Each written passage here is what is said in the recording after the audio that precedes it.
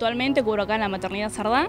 Eran las 7 y 10 aproximadamente cuando se me acercan dos, hombres, uno era el papá de, la criatura, y me dicen que la señora ya estaba en trabajo de parto.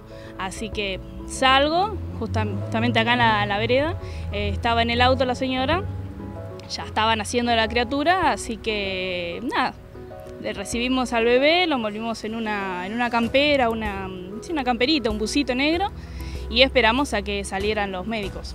En tu caso, ¿era la primera vez que pasabas una situación así? la segunda, la segunda.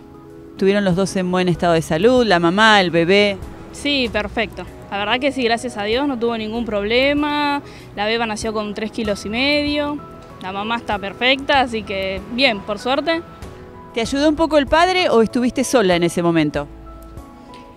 Estuvo el padre, sí, sí, sí, sí, estuvo el padre. Él fue, después fue el que lo, agarró, lo sostuvo hasta que vinieron los, médicos, bueno, hicieron el corte del cordoncito a la, a la beba y se lo llevaron para quirófano. ¿Cómo estaban ellos con vos agradecidos? ¿Se sintieron apoyados en ese momento tan especial? Y es un momento de shock, creo yo, ¿no? Estaban medio alterados, la mamá lloraba mucho, yo trataba de tranquilizarla, pero bueno, un momento medio complicado. Y el papá estaba como sorprendido, perdido, lo veía yo por lo menos en ese momento.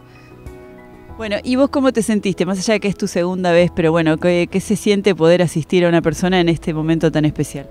Ah, es algo re lindo, aparte que es como que algo que nosotros no los esperamos, ¿no? No es que uno sale pensando que va a tener un, parto, va a tener un bebé recién nacido entre las manos.